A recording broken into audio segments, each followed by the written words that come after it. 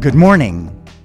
A local church is to have an ongoing widows list whereby we make note of those faithful, believing women who've grown older and they don't have children, grandchildren, relatives, or a friend to help take care of them.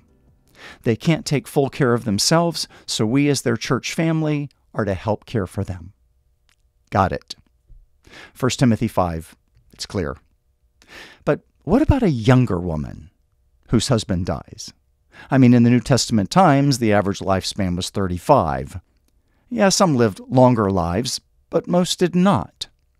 What about a woman who's married, likely in her teens, and her husband dies?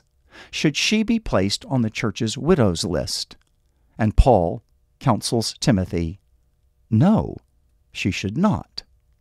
So why would that be?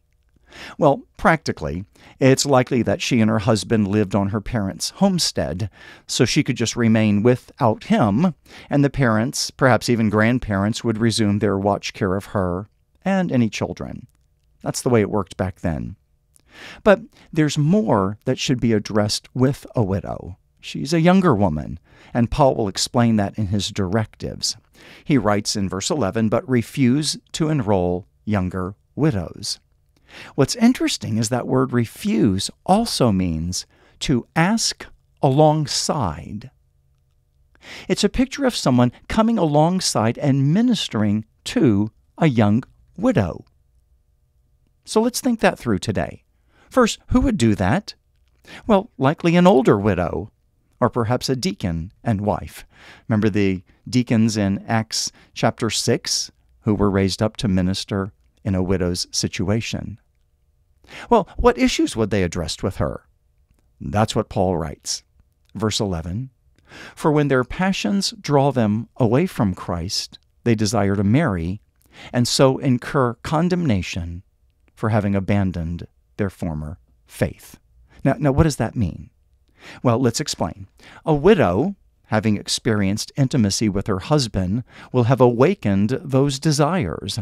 The temptation to be immoral will be great, and if she gives in, she could draw away from Christ. So come alongside her. Talk to her about her desires and marriage. An older widow could help her understand those desires and encourage her to remember that marriage is a wonderful gift from God and He might give her another husband. They could pray.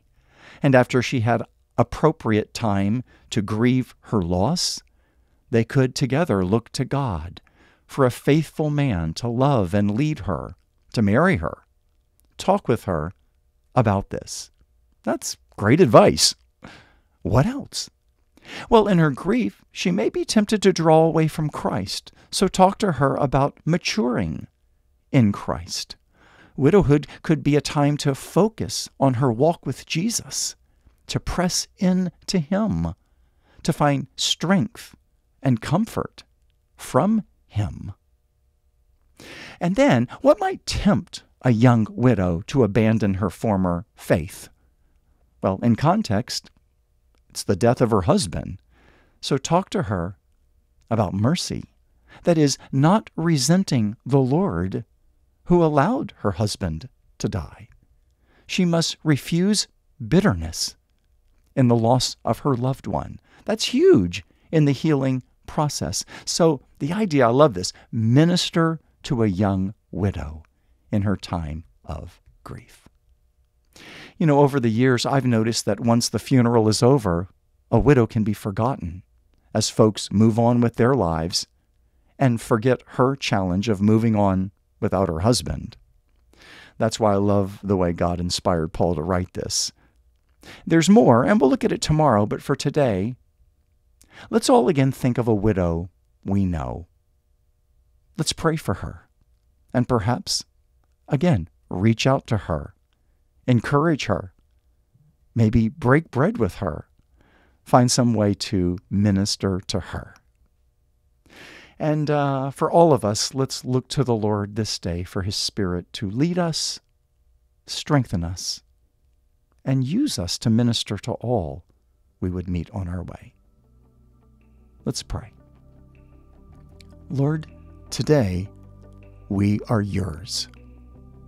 Lead us by your Spirit. Use us to be a blessing and encouragement. We pray.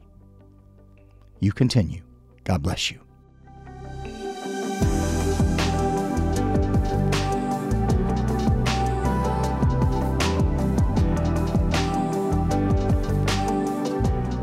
Thank you for listening to Mornings with Pastor Jim. This podcast is a ministry of Family Church PC. For more information or to contact us, go to familychurchpc.com. Have a blessed day.